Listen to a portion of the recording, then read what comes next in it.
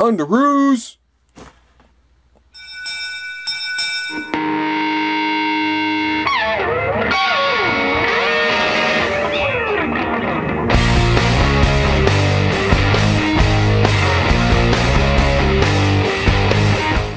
Okay, people, welcome back to another Fwoosh review. Tonight I'm going to take a look at the SH Figuarts Captain America Civil War Iron Man Mark 46. Now, after getting Captain America last month, it being my first Marvel Figuarts, I got super excited because I love that figure. So, Iron Man coming out this month, I was excited to get him just to have uh, something to pair up with Captain America. Plus, I've heard people rave about the Figuarts Iron Mans. The standard Figuarts packaging, there's some stuff hidden back behind the graphic, uh, like usual, but uh, that's why you open the package. You can see Iron Man. I'm liking the candy red and the gold color to it. Uh, mm, excited. Pretty picture on the side. On the back, you have movable molding option parts. Uh, the usual, hey, here's what's in the package. Down here, I don't know exactly what it says.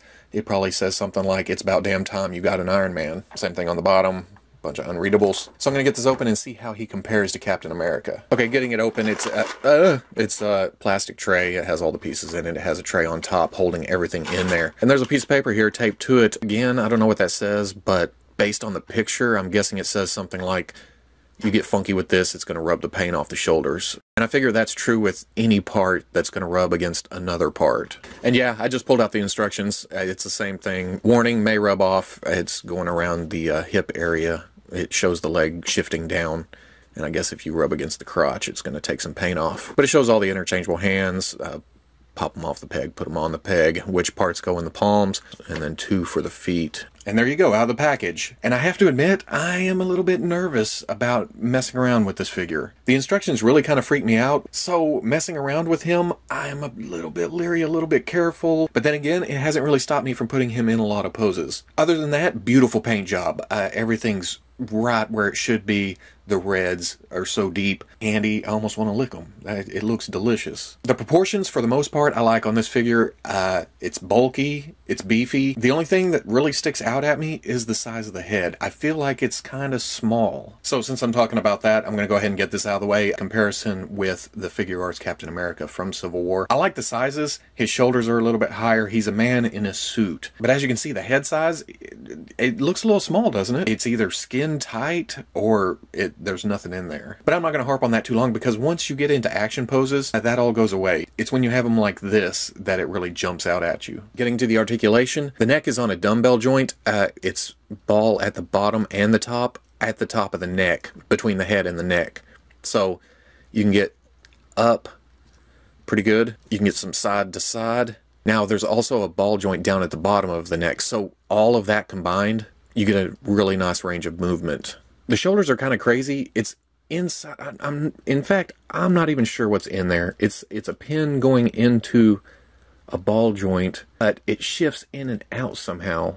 I think it comes out of here, but you can shift it out to get a lot more range of movement.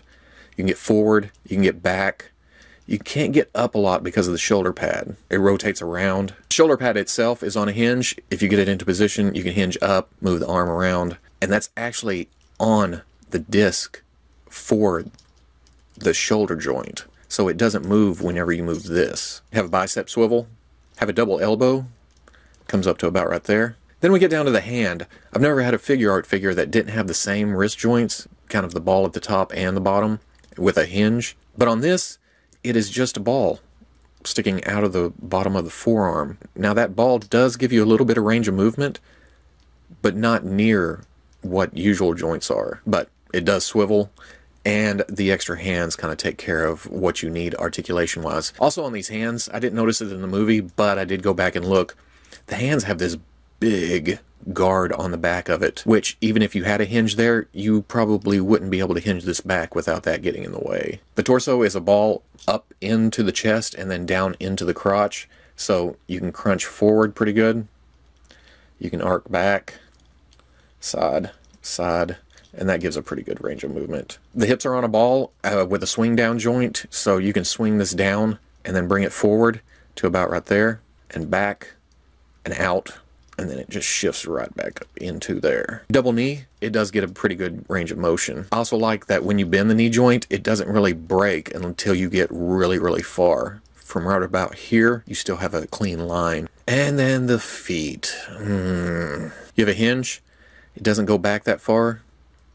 It goes to about right there. There is some kind of guard that's going over the foot. It does swing up, and you can get a little bit more, but not much. There is a rocker, but it, that doesn't give you much at all either. It gets about right there and about right there. Moving on down to the toe joint, you got to shift this up a little bit and then bend the toe, but it gets about right there. Not a lot at all. Now for accessories, he comes with two fists. Like I always say, I like the fists. They're made for punching. He comes with two splayed out hands, kind of at ease, kind of his underoos call. He comes with two karate chop hands. I'm not quite sure what those are for. Uh, flying poses maybe. They look cool, but I don't see a lot of use for them. And then he has splayed out hands that have pegs on the palm of them for the effects to attach to. And then as far as effects go, for the hands, he comes with two short ones that uh, simulate flying, or well, stabilization, I guess. He comes with two longer ones for repulsor blast. And then for the feet, he comes with two larger flight effects. Now, thankfully, because I'm nervous about the paint, the hands are fairly easy to switch out. They just kind of pop off. And all of them pop on pretty easy. Now, for the effect hand, the hole in it does go back it doesn't go up into the hand, it goes into the back of it to simulate that, you know, him blasting. But it goes on there pretty good, and then the effect just goes on the peg.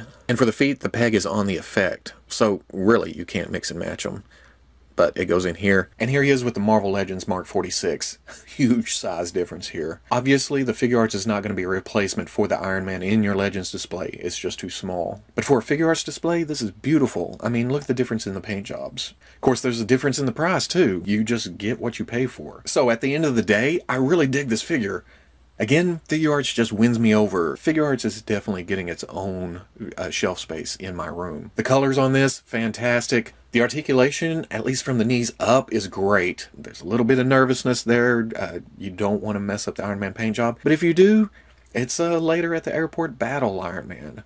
Iron Man in the movies never stays clean for long. So if the figure doesn't stay clean for long, that's like a hidden action feature. Yes, I have a quibble about the head size, but I have a quibble about head sizes on most figures. At least when you're doing a group of figures. By themselves, I barely notice, but when you try to match them up, if the head size doesn't match, it just throws me off. If there was any other negative I could think of for this figure, it would be the lack of more accessories. Don't get me wrong, I'm happy with eight hands and six effects. Maybe opening flaps, or an extra head. I understand that they're selling the Tony Stark. I got that on pre-order, definitely. But a Tony Stark head here included with this Iron Man would have been icing on the cake. Yes, extra parts would have been cool, but really, when it comes down to it, not absolutely necessary in the grand scheme of things. But man, I would like to see these come out faster because with the face printing technology, I need a Bucky. I need a Winter Soldier. One that scales in with these two guys. If we could just finish the final battle, I would be good. I mean, I could have that as a display. What I'm trying to say is, this figure's cool. I want more. That's what it breaks down to basically. I could have probably saved two or three minutes of video time here just saying that. So if you like the review, comment, like, subscribe, and I'll catch you on the Fwoosh. And you know what? I kind of love this figure. Yes, it is a little bit fiddly, which we'll get to in a minute, but overall, I feel like this is, like I say about a bunch of the Figuarts, a shrunk down version of the character.